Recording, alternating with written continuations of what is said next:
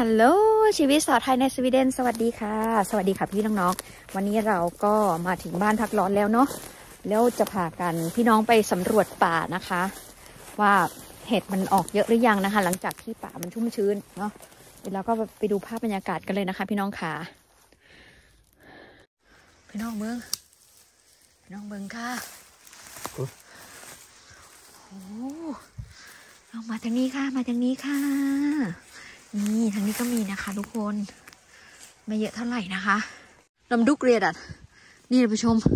มาช้าเกินไปแล้วนะคะ แต่ว่าก็ยังพอมีให้เก็บอยู่นะคะเห็นบ่ Lite gammal. นี่ได้ละ Åh, här också. อ๋อสวยๆนะพี่น้องจ้า พี่น้องเบิ้งแน่จ้า เบิ้งแน่นี่ ดูดู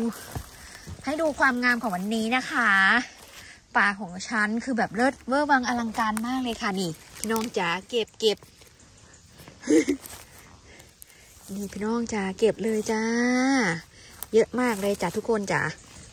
ขาตั้งกล้องก็หล่นหายตั้งไหนกันไม่รู้พี่น้องเอ้ยเพิ่งซื้อเองติตาแดนอกซะเยอะมากพี่น้องค่ะ เยอะมาก นี่อยู่ฝั่งนี้ก็มีนะคะดู นี่เห็นไหมอืม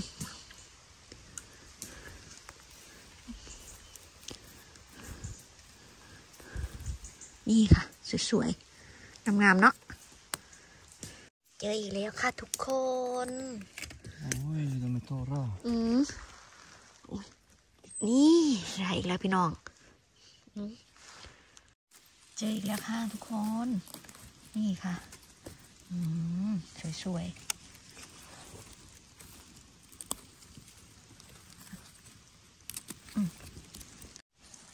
นี่ค่ะพี่น้องหนึ่งดอกได้อยู่เด้อได้อยู่เด้อค่ะหมวกหลุดเลยพี่น้อง